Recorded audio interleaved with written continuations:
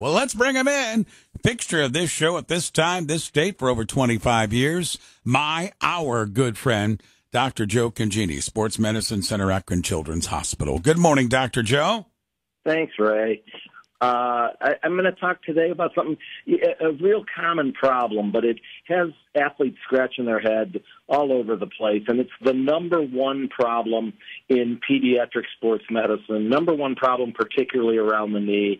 You can be sure at this time of year with so many young people playing sports, uh, in sport medicine centers like ours, there may be with all the centers we have 10, 20, 25 athletes uh, limping around. They can't run. They can't go up and down stairs, but they're frustrated because they didn't have any twisting injury like an ACL or an MCL, and they can't quite figure out what the problem is. And the number one problem is this overload, this over uh, uh over stress to the kneecap known as runner's knee uh, in general terms. It's known as patellofemoral pain syndrome. We have come a long way in learning about it in my career, which is what's kind of fun about the experience of being around a while. But for all of my 30 plus years, seen so many cases of PFS, and in its worst form, athletes just can't run and they can't play, and it really frustrates them this time of year. The kneecap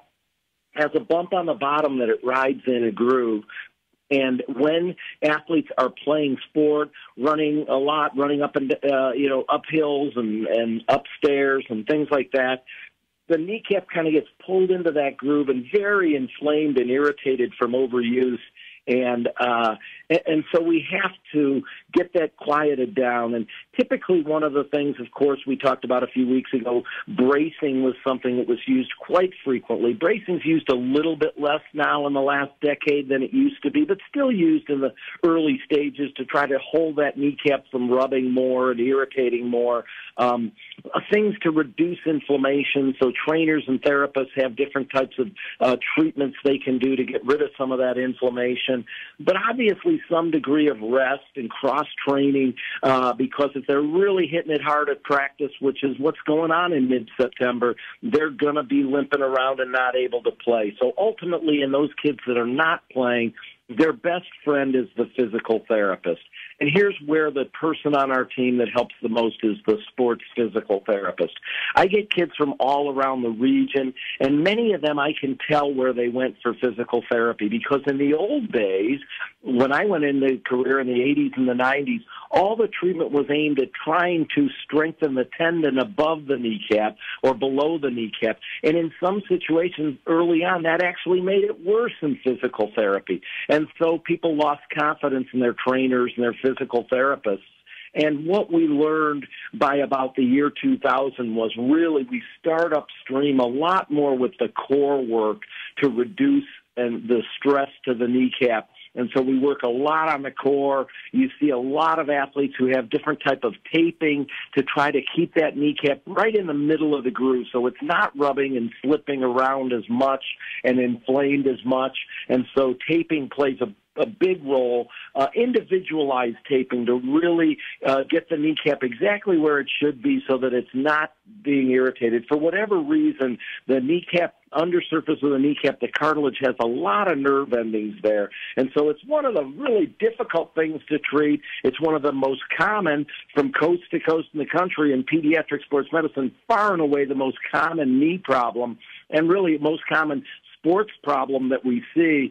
So we need a good approach to get it better. The physical therapists that work with sports are really good at it. And, and when you're up against it and these kids can't run and play, the sports physical therapist, the reason I say sports physical therapist is a lot of people, if they go to an adult therapist that doesn't see this problem, they'll do the older form of treatment. And I can tell right away, you know, if, if they're seeing somebody who's up to date on treatment. And the sports physical therapists do a wonderful job getting people better. I have to joke about it in my office for years. These kids come in and they've been to the therapist four, five, six times, and they're feeling better when they come back and see me. And uh, and I say, well, now who did all the work? And they say, well, the physical therapist worked with me. And I say, well, this is the way it works in sports medicine. The therapists do all the work, but the doctors take all the credit. So I want you to let everybody know that I'm the one that cured you from this problem. And I joke with them and say, no, it's it's all the work of the really talented physical therapists.